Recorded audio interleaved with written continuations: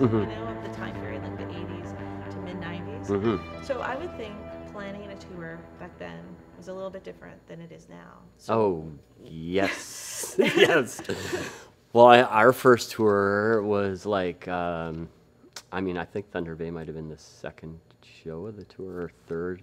I mean, the first show of the tour was in London. I know that we locked the keys to the Volvo that we were touring in, in the U-Haul trailer, and so that was like our first big night out on, you know, um, and just shows back then like a lot of postcards like postcards were and you know telephone obviously but postcards were like hey we're you know send a postcard out and say we're touring on these dates and then hopefully two months later or whenever you know somebody would write back and be like yeah i'll do a show on that day or you know whatever yeah.